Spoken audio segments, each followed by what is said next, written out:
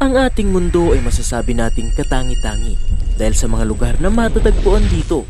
Mga lugar kung saan kapag ating napuntahan ay makapagsasabi nga tayo na ang sarap mabuhay sa mundong ibabaw. Subalit merong mga lugar sa ating mundo na dapat nating iwasan at di natin puntahan kahit na ang mga itsura nito ay kabigha-bighani at nakakapuko atensyon talaga. Kaya naman narito ang sampung pinakadelikadong lugar sa ating mundo. Number 10. North Yugas Road o mas kilala sa tawag na Death Road. Ang La Carretera de los Yogas ay sinasabing nakakatakot at ang pinakadelikadong daan sa buong mundo.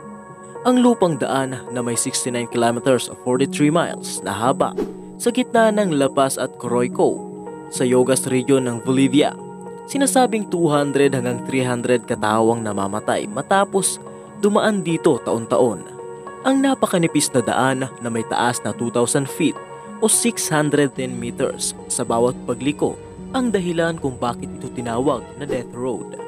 Dahil sa taas at kapal ng fog sa lugar na ito kapag ikay nahulog ay siguradong kamatayan lamang ang tangi mong kaahantungan.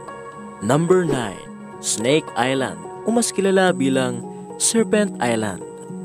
Ang Snake Island ay ang lugar kung saan di mo papangarapin na mapuntahan. Dahil sa isla na ito matatagpuan, ang isa sa pinakamakamandag na ahas na kilala sa tawag na Golden Lancet Pit Viper at sinasabi din na halos 430,000 na ahas ang naninirahan dito subalit kamakailan lamang ay bumaba ang bilang na ito dahil sa dami ng ahas sa isla na ito ay tinawag itong deadliest place on earth. Number 8. Lake Natron Marahil marami sa atin ang nag enjoy maligo sa mga lawa dahil sa init ng panahon.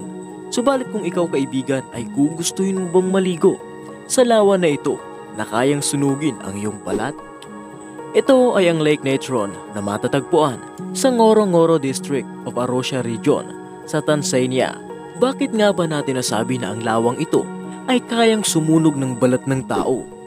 Ang lawa kasi na ito kaibigan ay may mataas na bilang ng natron o sodium carborate decahydrate dahilan kung bakit kinakaing unti-unti nito ang balat ng hayop o tao pag ito ay nakadikit dito.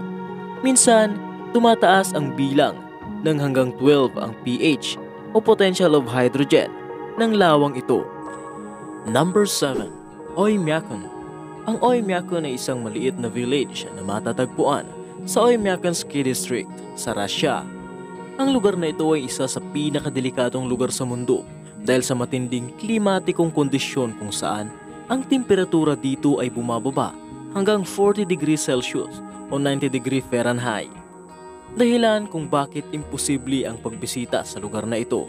Bukod sa lamig ng temperatura ay walang halamang gulay ang nabubuhay dito. Kaya naman tinatayang 500 katao lamang ang sinasabing naninirahan sa lugar na ito. Number 6. Death Valley Ang lambak na matatagpuan sa border ng California at Nevada ay lugar kung saan mararanasan ng matinding init at isa ito sa pinakamainit na lugar sa buong mundo at naranasan nga ang pinakamainit na temperatura sa lugar na ito noong July 2018 na umabot ng 108 Fahrenheit sa loob ng apat na araw sa buong gabi at 127 Fahrenheit naman sa umaga na sinasabing ito ang pinakamataas na temperatura na na-record. Kinilala ang lugar na ito bilang North America's driest and hottest spot at nakuha ang pangalan nito nang maligaw ang isang grupo ng manlalakbay noong 1849 hanggang 1850. Isa sa mga kasamahan nila ang namatay at ang iba ay inakala na ito na ang kanilang huling hantungan. Subalit sila ay nailigtas ng dalawang kasama nila sa paglalakbay. Kaya naman sila ay nakaalis sa malaimpyernong lugar na ito. Number 5. Skeleton Coast Ang Skeleton Coast ay matatagpuan sa hilagang bahagi ng Atlantic Coast ng Namibia at timog bahagi ng Angola mula sa Kunini River South hanggang Swakop River. Ang lugar na ito ay tinawag na the land God made in anger ng mga Bushmen ng Namibia dahil sa matinding klima nito na masasabi nga namang napakadelikado sa tao. Ang klima, mainit na hangin at kakulangan sa pagkain ang dahilan kaya sinasabi na ang pagkakataon na mabuhay sa lugar na ito ay 0%. Ayon naman sa mga mandaragat na nanggaling sa Portugal, ay tinawag nila ang lugar na ito bilang The Gates of Hell dahil sa mga buto ng hayop na makikita sa lugar na ito.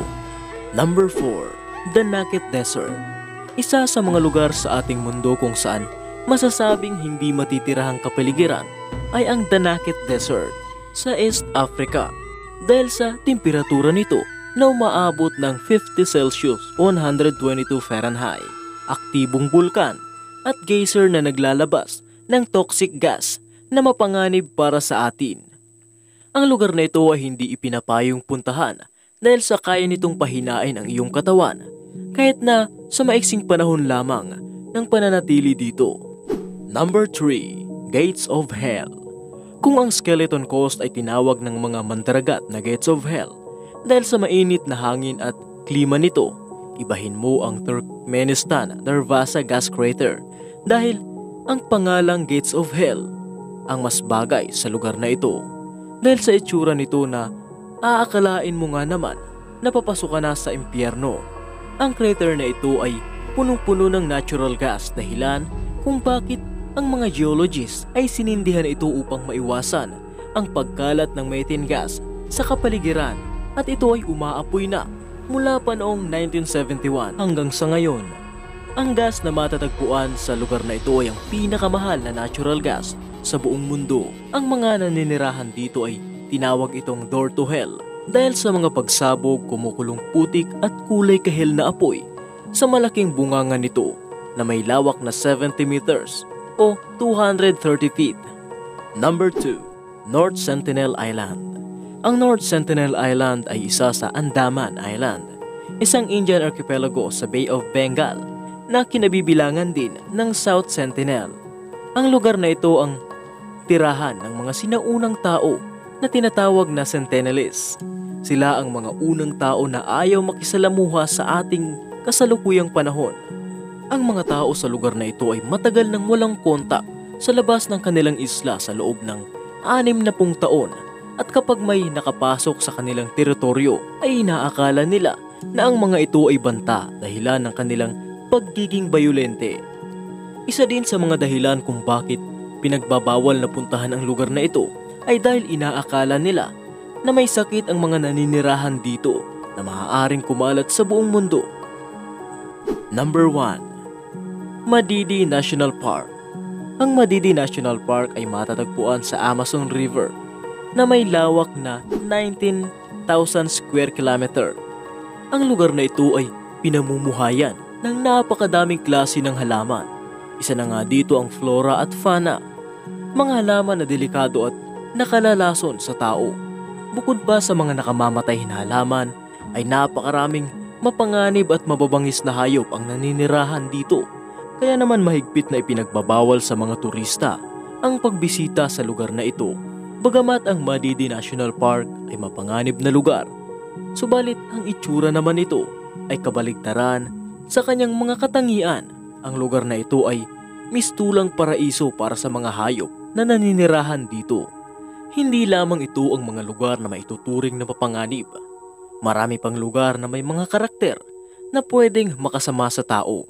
Ang lawak ng ating anyong tubig ay 71% ng ating daigdig mga kabundukan at mga bulkan na nagdudulot ng sakuna sa atin. Subalit kahit na may mga delikadong lugar sa ating mundo, may mga lugar pa naman sa ating mundo na masasabi natin na yaman at kailangan nating ingatan. Mga lugar kung saan nakapagbibigay ng ating kasiyahan at nakakaalis ng stress natin.